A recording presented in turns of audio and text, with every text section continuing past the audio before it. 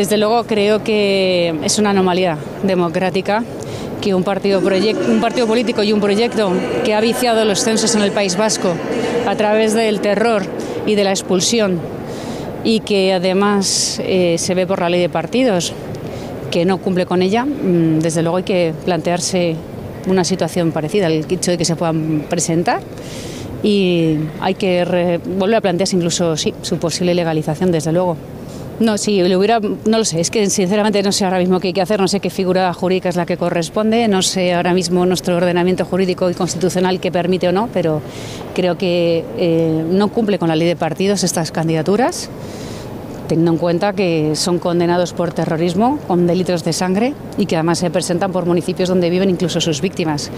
Desde luego me parece inmoral e impropio de una democracia como la nuestra y también el hecho de que Bildu pueda estar en las instituciones. Esto eh, lo decidió finalmente el Constitucional y por tanto ya hace años. Habrá que, que ver la figura